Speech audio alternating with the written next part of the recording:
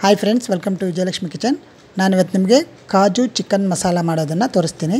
ತುಂಬ ಚೆನ್ನಾಗಿರುತ್ತೆ, ತುಂಬ ಟೇಸ್ಟಿಯಾಗಿ. ಬನ್ನಿ, ಇದನ್ನು ಮಾಡೋ ರೀತಿ ನಾನು ಈಗ ತೋರಿಸ್ತೀನಿ.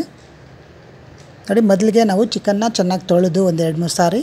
ಅದಕ್ಕೆ ಮೊಸರು, ಮತ್ತು ಅರಿಶಿನ ಮತ್ತು ಖಾರಕ್ಕೆ ತಕ್ಕಷ್ಟು ಖಾರದ ಪುಡಿ. ಸ್ವಲ್ಪ ಖಾರ ಇದ್ದರೆ ಚೆನ್ನಾಗಿರುತ್ತೆ. ಖಾರ ನೋಡಿಕೊಂಡು ಹಾಕಬೇಕು. ಈಗ ಚಿಕನ್ ಮಸಾಲ ಸ್ವಲ್ಪ ಹಾಕಬೇಕು. ಚಿಕನ್ ಮಸಾಲ ಹಾಕೋದ್ರಿಂದ ಫ್ಲೇವರ್ ತುಂಬ ಚೆನ್ನಾಗಿರುತ್ತೆ. ಈಗ ರುಚಿಗೆ ತಕ್ಕಷ್ಟು ಉಪ್ಪು. ಉಪ್ಪು ನೋಡಿಕೊಂಡು ಹಾಕಬೇಕು.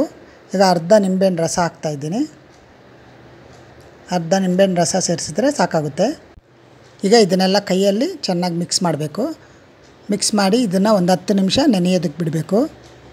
ನೋಡಿ, ಎಲ್ಲ ಚೆನ್ನಾಗಿ ಮಿಕ್ಸ್ ಆಗಿದೆ. ಈಗ ತಟ್ಟೆ ಮುಚ್ಚಿ ಒಂದು ಹತ್ತು ನಿಮಿಷ ಇಡಬೇಕು. ಈಗ ನೆಕ್ಸ್ಟ್ ಪ್ರಾಸೆಸ್ಸು ಈಗ ಗೋಡಂಬಿ ಒಂದೆರಡು ಇಡಿ ತೊಗೊಂಡು ಅದನ್ನು ನೀರಲ್ಲಿ ನೆನೆಸ್ಬೇಕು.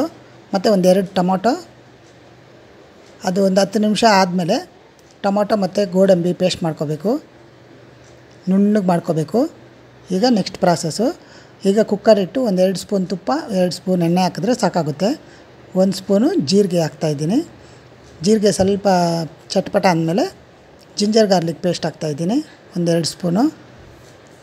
ಹಾಕಿ ಎಲ್ಲ ಚೆನ್ನಾಗಿ ಎಣ್ಣೆಯಲ್ಲಿ ಚೆನ್ನಾಗಿ ಫ್ರೈ ಮಾಡಬೇಕು. ಈಗ ಈರುಳ್ಳಿ ಉದ್ದುದ್ದಾಗಿ ಕಟ್ ಮಾಡಿಕೊಂಡು ಹಾಕಬೇಕು.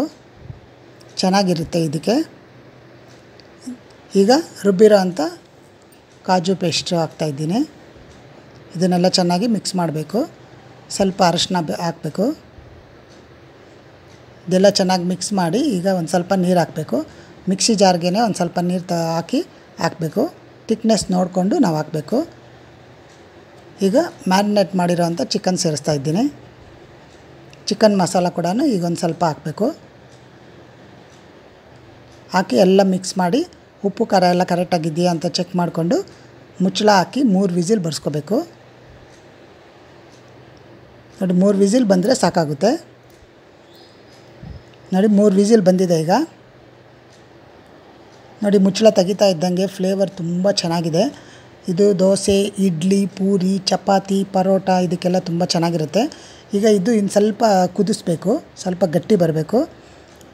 ನೋಡಿ ಚಿಕನ್ನು ಆಲ್ರೆಡಿ ಇದು ಬೆಂದಿದೆ. ಈಗ ಗರಂ ಮಸಾಲ ಒಂದೆರಡು ಸ್ಪೂನ್ ಹಾಕಬೇಕು. ಲಾಸ್ಟಲ್ಲಿ ಗರಂ ಮಸಾಲ ಹಾಕೋದ್ರಿಂದ ಫ್ಲೇವರ್ ಇನ್ನೂ ಚೆನ್ನಾಗಿರುತ್ತೆ. ಇದನ್ನು ಸ್ವಲ್ಪ ಕುದಿಸ್ಬೇಕು ಗಟ್ಟಿಯಾಗೋ ತನಕ. ಒಂದು ಹತ್ತು ನಿಮಿಷ ಕುದಿಸ್ರೆ ಸಾಕಾಗುತ್ತೆ. ನೋಡಿ, ಈಗ ತಿಕ್ನೆಸ್ ಬಂದಿದೆ. ನೋಡಿ ಚಿಕನ್ ಕೂಡ ಚೆನ್ನಾಗೆಲ್ಲ ಬೆಂದಿದೆ.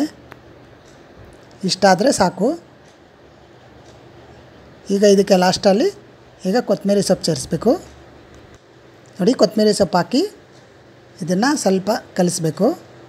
ಈಗ ಇದು ರೆಡಿ ಆಗಿದೆ ಸರ್ವಿಂಗ್ ಬೌಲ್ ತೆಗಿತೀನಿ.